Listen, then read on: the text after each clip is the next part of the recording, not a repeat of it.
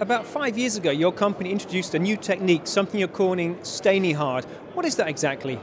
Well, Hard is a process, a heat treatment process for austenitic stainless steel to give it a hard layer uh, without uh, a negative influence on the corrosion resistance. Now, we understand this is a patented technique, but can you reveal a little bit about how it works? Well, it is a thermochemical diffusion process. That means we do have a diffusion of carbon and nitrogen and that gives a compressive stress in the surface, and that you can say it's it's uh, it's it's measured the hardness uh, to prevent galling and give a more wear resistance layer.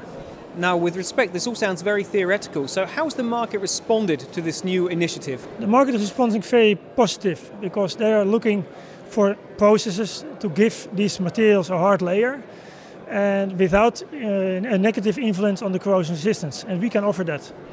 So, if there's somebody out there who wants to apply this technique to his or her product, what does he have to do? Does he have to buy a piece of expensive equipment from you?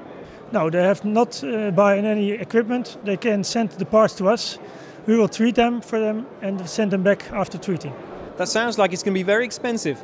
That's relative. Of course, they have to pay for the treatment, but they save costs because the parts have a longer lifetime and also there's less maintenance on uh, equipment necessary. So this is great in terms of life cycle costing? Yes, it's really great uh, life cycle cost.